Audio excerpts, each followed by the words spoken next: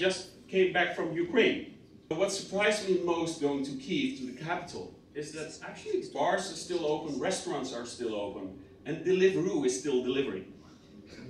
You're not as surprised as I was. Let me remind you, in the Netherlands, our trains stop when it snows. and I ordered in because outside it's war. And on the app, I see Sergey, I will remember his name always.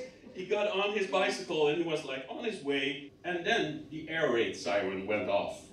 And you get notifications on your phone as well, emphasizing this is not a drill, see shelter immediately. So I went to this basement and I look at the phone if there are any updates, like what's happening, what's going on, and I see Sergey is still cycling. not a care in the world. This experience honestly changed my life because now that I'm back here, how am I ever gonna give Joost from Thuisbezorgd a five-star review? what the fuck has Joost done?